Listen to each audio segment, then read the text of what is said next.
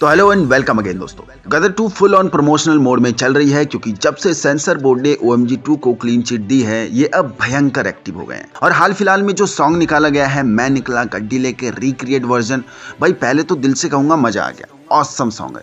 देखो, अगर मैं बता दूँ तो यहाँ पर गदर टू ही ज़्यादा बिज़नेस करके जाएगी। क्योंकि गदर टू का सबसे बड़ा एडवांटेज ये है कि सेंसर बोर्ड ने गदर टू को यूएस सर्टिफिकेशन को क्लीन चिट दिया है। दूसरी तरफ़ ओ एम को ए सर्टिफिकेशन का क्लीन चिट दिया है। इट मीन मूवी को 18 प्लस की ऑडियंस से ऊपर ही देख सकते हैं। तो फैमिली ऑडियंस सीधा सीधा गदर टू को ही अपना हॉलीडे का एंटरटेनमेंट चुनेगी। क्योंकि ऐसे सिनेमा लोग विथ फैमिली ज़्यादा एंजॉय करना चाहते हैं। तो भैया गुत्थम गुत्था बहुत शानदार चल रही है दोनों फ़िल्मों की, क्योंकि दोनों को ही ग्यारह अगस्त को रिलीज़ करा जाना है।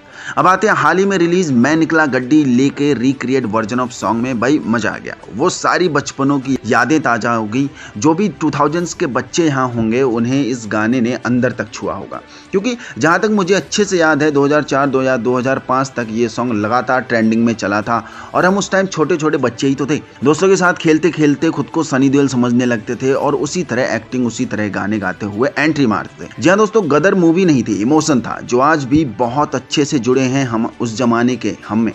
अब वही फ़िल्म दोबारा आ रही है। भाई, मैं बहुत एक्साइटेड हूँ। दूसरा, जब इसका ट्रेलर आया था, ज़बरदस्त ट्रेंड किया था। ज़बरदस्त लोगों ने बहुत प्यार दिया था गदर टू के ट्रेलर को। बाकी बात अगर इस गाने की करूँ तो अभी तक 9.6 मिलियन व्यूज़ ये बटोर चुकी है और 3.4 लाख लाइक कलेक्ट कर चुके हैं और भाई कमेंट्स में तो रिकॉर्ड फाड़ दिया है कसम से।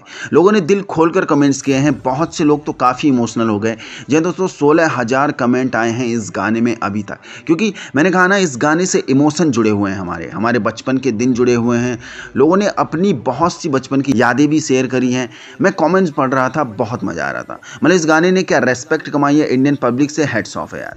दूसरा, उम्मीद ना थी कि इतना बढ़िया सॉन्ग ये निकाल सकते हैं, क्योंकि गदर फ़र्स्ट का जो मैं निकला गड्डी लेके सॉन्ग है, उसका हाइप टोटली अलग है। लेकिन उदित नारायण जी ने ज़बरदस्त मैच किया है उस हाइप को भी। लेकिन म्यूज़िक में उतना दम नहीं लगा। थोड़ा और बढ़िया म्यूज़िक डालना था। म्यूज़िक में थोड़ा इंप्रूवमेंट करना था, बस यही पिटफॉल है इस गाने का। बाकी मैंने बहुत बोल लिया अब आपकी बारी। अगर आप लोगों ने भी इस गाने को सुन लिया है या देख लिया है तो आपको ये किस हद तक टच करा है? आपको ये गाना कैसा लगा? क्या आपकी भी कोई बचपन की यादें इस गाने से जुड़ी हुई हैं? अगर हाँ तो नीचे कमेंट बॉक्स पर अपनी वो राय और एक्सपीरियंस ज़रूर शेयर करके जाना। बाकी मूवी रिव्यू और बॉक्स ऑफ़िस से जुड़ी सभी अपडेट्स के लिए और बॉलीवुड हॉलीवुड और साउथ फ़िल्मों की अपडेट्स के लिए हमारे साथ ऐसे ही जुड़े रहना। और अगर चैनल पर नए हो तो सब्सक्राइब ज़रूर करना। दूसरा, अंगूठे वाला बटन दबा के वीडियो को लाइक ज़रूर करना। मिलते हैं अगली वीडियो में। जय